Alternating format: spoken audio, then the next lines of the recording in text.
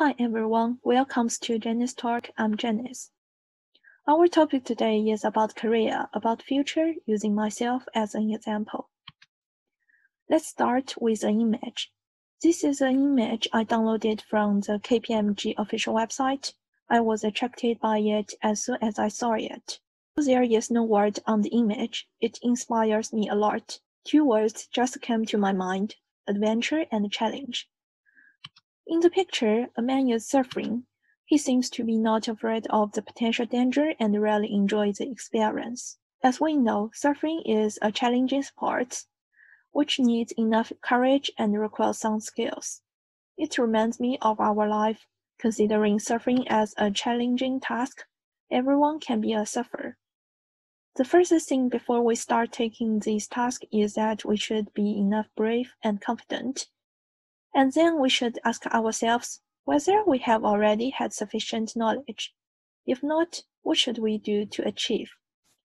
In a word, only people dare to take challenges and command relative expertise can they enjoy the success in the final. This is similar to my ideal self in the future career, not only having abundant professional knowledge, but also being confident to whatever tasks I meet. For my future career, I have two specific directions. One is focusing on financing and investment to be a financial analyst. The other one is concentrating on auditing and risk estimation to be an auditor. Both of them are relatively difficult and challenging to develop well due to the high academic requirement and the need of superior judgment. In order to evaluate whether I stood to my goals, I completed several self-awareness tours. I chose two of them to share. According to my MBTI profile, my personal code is ISTJ. Strong-willed and dutiful, responsible, calm and uh, practical and planning detailedly are my strengths. And the result of employability questionnaire shows that I scored high in occupational, rhetorical, and ethical culture and social literacy. To sum up, they both prove that I have already equipped the basic characteristics needed for my ideal jobs responsible, organized, and considerate. However, several drawbacks they indicated are more important for me to pay attention to. I concluded them into three aspects.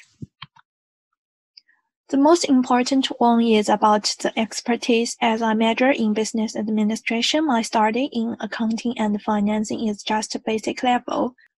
Secondly, I may focus too much on the existing facts and theories so that I may lack creativity and look stubborn. Thirdly, although introverted personality tends to be more cautious and careful than extrovert, People with it may be poor in interpersonal communication and are usually unwilling to touch new things. The change of these drawbacks is a challenging task for me as I adapt to them for nearly 20 years. Uh, so in order to be a good surfer in my ideal work, I still have a lot to go. Actually, it is not the first time for me to take self-awareness test.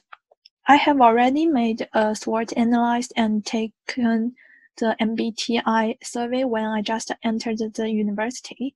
So some actions I have already taken to cope with my shortages.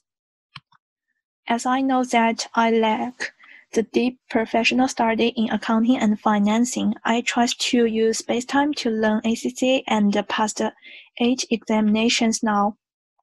Though it a bit difficult, I will never give up. And I also studied something about computers and data analysis, including Python and eViews.